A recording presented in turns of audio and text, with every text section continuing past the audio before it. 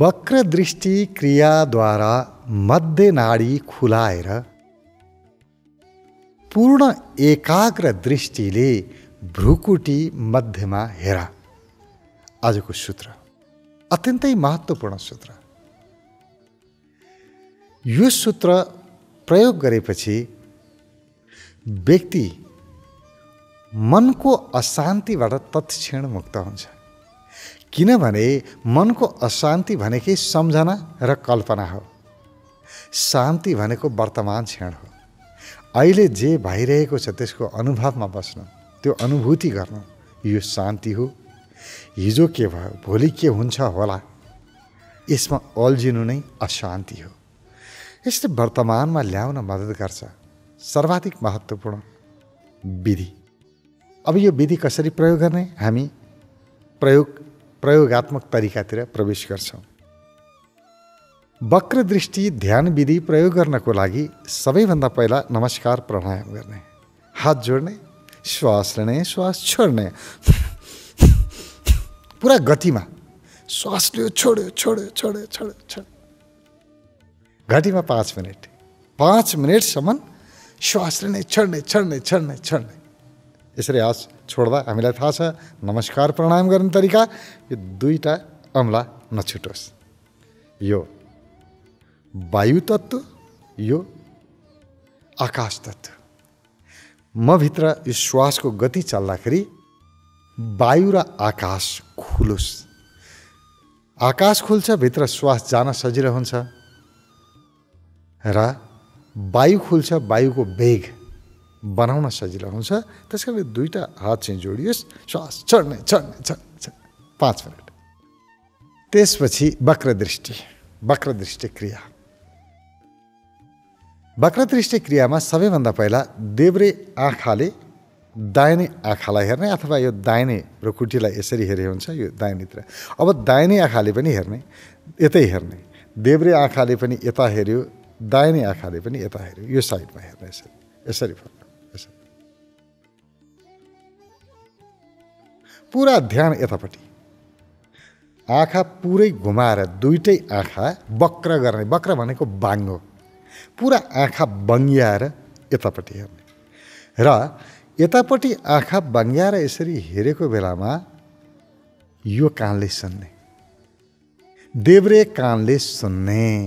दाहिने आँखा हेर्ने दाहिनेतिर आँखा फर्काउने यसरी दाहिने आँखा फर्क्यो। अनि कान चाहिँ देब्रे। देब्रे कानले सुन्ने। पुरा ध्यान देब्रे कानमा देब्रे कानबाट कस्ता आवाजहरू आइरहेका छन्? सुन्ने। दाहिनेतिर आँखा फर्काउने वक्र दृष्टि। अब यसरी देब्रे कानले सुनेर दाहिने आँखा हेऱ्यो। पाँच मिनट। यसरी हेर्दाखेरि पाँच मिनटभित्रै देब्रे नाक खोल्न थाल्छ।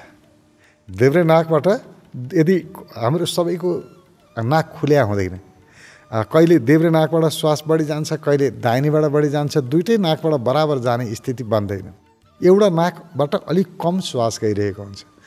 अब दाहिने नाकबाट बढी श्वास गएको छ भने पनि परिवर्तन हुन्छ देब्रे नाक खुल्छ देब्रेबाट श्वास जान सुरु गर्छ। कति मानिसहरूको त एउटा नाक बन्द नै रहन्छ प्रायः त्यस्ता व्यक्तिहरूलाई पनि फाइदा गर्छ। देब्रे नाक खुल्छ। देब्रे नाक खुल्यो भने मैले गरे विधि ठिक छ होइन भने ठिक छैन भन्ने बुझ्नुपर्छ। पुरा ध्यान दिएर यता हेरेपछि यता हेर्ने र यता सुनेपछि देब्रे नाक खोल्न बाध्य हुन्छ आफै खोल्छ। पाँच मिनट यो क्रिया गरिसकेपछि दोस्रो पाँच मिनट। फेरि आँखालाई फर्काएर देब्रेतिर हेर्ने यसरी। देब्रे हेर्ने दाहिने कानले सुन्ने। पुरा ध्यान दाहिने कानमा। अब देब्रेतिर पनि हुन्छ। देब्रेतिर हेर्ने ध्यान लगाएर आवाज चाहिँ दाहिनेतिरको सुन्ने यसरी यतापट्टि वक्र गऱ्यौँ फेरि। अर्कोतिर आँखालाई मोड्यौँ दृष्टि वक्र भयो। यो कानले सुन्यौँ। अब दाहिने नाक खोल्न थाल्छ। तुरन्तै परिवर्तन हुन्छ। पाँच मिनट यो क्रिया गर्ने। यसरी दुईतिर यता यता गऱ्यौँ हामीले जस्तो हामी यता दाहिनेतिर हेरेर देब्रे गरेका थियौँ। हाम्रो दाहिने मस्तिष्क खुल्यो। देब्रे मस्तिष्क खुल्यो। र फेरि देब्रीतिर हेरेर दाहिने सुन्यौँ। दाहिने मस्तिष्क खुल्यो। दुइटै मस्तिष्कको व्यायाम भयो। देब्रे मस्तिष्क दाहिने मस्तिष्क दुइटैको हामीले व्यायाम गऱ्यौँ। सारा समस्या हाम्रो मस्तिष्कमा छ मनमा छ। मस्तिष्क खुम्चिन्छ कि चाहिने नचाहिने कुराहरू सोच्यो भने त्यो तनाव भन्छ नि तनाव भनेको के हो भने खुम्चिनु तानिनु। त्यसलाई रिल्याक्स छोड्नुपर्छ। यसले रिल्याक्स गराउँछ अथवा यो शान्त बनाउँछ। अब त्यसपछि अब यहाँ भनेको छ के भनेको छ वक्र दृष्टि क्रियाद्वारा मध्यनाडी खुलाएर भनेको छ। अब मध्यनाडी खुलाउने मध्यनाडीलाई के गर्ने? जस्तो देब्रेतिर हेर्नुभयो दाहिने सुन्नुभयो दाहिनेतिर हेर्नुभयो देब्रे सुन्नु अब त्यसपछि अन्तिममा यसरी पुरै दृष्टिलाई दुइटै दृष्टिलाई यसरी गरेर यो भ्रुकुटीको मध्य भनेको बिच भाग यो दुइटै आँखी भाउको बिच भाग टिका लगाउने ठाउँ। यो ठाउँ यसरी हेर्ने माथि।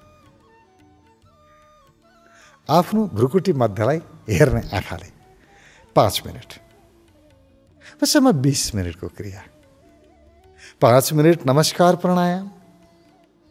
पाँच मिनट दाहिनेतिर आँखा फर्काउने देब्रे सुन्ने अर्को पाँच मिनट देब्रेतिर आँखा मोड्ने दाहिने कानले सुन्ने र अर्को पाँच मिनट दुइटै दृष्टिलाई मध्यमा राख्ने। जम्मा बिस मिनटको क्रिया। यति गरे पुग्छ वक्र दृष्टि क्रिया। र यो पाँच मिनट यहाँ लगेर यसरी हेर हेऱ्यो। हेर्दा हेर्दै हेर्दा हेर्दै माथि आनन्दको अनुभव हुन्छ। तर यसमा अलि अप्ठ्यारो चाहिँ के हो भने यो सुरुमा यसरी आँखा फर्काएर हेर्दा आँखाबाट आँसु आउने आँखा दुख्ने पनि हुनसक्छ यतातिर सुरु सुरुमा बानी छैन नि। माथि हेर्दा पनि त्यस्तै गाह्रो हुन्छ। यहाँ दुखेको अनुभव हुन्छ तानेको खिचेको अनुभव हुन्छ। अब यदि यो विधि चाहिँ आँखा खोलेर पनि गर्न सकिन्छ आँखा बन्द गरेर पनि गर्न सकिन्छ। अब आँखा खोलेर गाह्रो अलि गाह्रो हुन्छ। आँखा खोलेर यसरी गरेर यता सुन्नलाई कठिन। यसरी आँखा दुख्यो अलिकति माथि हेऱ्यो आँखा दुख्यो त्यस्तो भयो भने के गर्ने आँखा बन्द गरेर गर्ने आँखा बन्द गर्ने बन्द गरेरै बन्द आँखाले नै देब्रेतिर हेर्ने र दाहिनेतिरको कानले सुन्ने बन्द आँखाले नै दाहिने हेर्ने देब्रेतिरको कानले सुन्ने बन्द आँखाले नै दुइटै आँखा माथि उठाएर भ्रुकुटीको मध्य टिका लगाउने ठाउँमा हेर्ने दुइटै आँखी बनाउको बिच भागमा त्यहाँ हेर्ने आँखा बन्द गरेर गऱ्यो भने चाहिँ आँखाबाट आँसु आउने अथवा दुख्ने यो कम हुन्छ। पछि अभ्यास हुँदै गएपछि आँखा हेरेर पनि गर्न सकिन्छ। त्यस कारण यो आफ्नो सहजता हेर्ने कसो गरेर आफूलाई सजिलो हुन्छ त्यही गर्ने। तर यसो गरिरहँदाखेरि टक्कै मन अडिन्छ। तपाईँ जस्तो दाहिनेतिर हेर्नुभयो। देब्रे कानले सुन्नुभएको छ। तपाईँको मनमा कुनै विचार आउँदैन। कसैको मनमा विचार आउनै सक्दैन। दुइटै काम एकैपटक गर्नु पर्यो। एकातिर हेर्नु पर्यो अर्कोतिर सुन्नु पर्यो। दुईवटा इन्द्रिय एकैपटक सक्रिय भए यो बेलामा मन टक्क रोकिन्छ। हेरौँ न गरेर हेर। मन चल्दैन टक्क रोकिन्छ। अब यो पनि पाँच मिनट रोक्नु छ। अत्यन्तै सजगतापूर्वक होसपूर्वक। पाँच मिनट यतातिर हेरेर पाँच मिनट यता हेरेर पाँच मिनट यता हेरेर पन्ध्र मिनटसम्म एकाग्रताको अभ्यास। यो विधि करने गर्ने त्यसपछि अन्तिममा पाँच, मैले भने पाँच मिनट पहिलो नमस्कार प्रणाम, पाँच अरू पन्ध्र मिनट, दाहिने, देब्रे र यहाँ हेर्ने दृष्टि। त्यसपछि यो बिस मिनटको क्रिया पछाडि अनि चुपचाप बस्ने,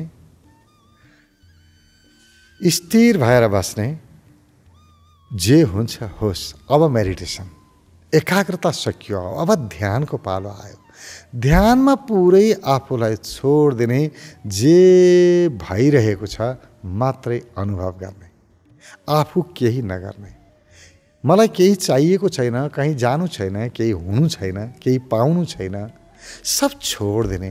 जति पनि ध्यान नगरेको बेलामा जति पनि पाउनु छ यो चाहियो ऊ चाहियो गरेकै छैन अहिले अब यहाँ ध्यान गर्नेको गर्ने बेलामा यो चाहियो र ऊ चाहियो मन डुलाएर के फाइदा? छोडिदिए मनलाई।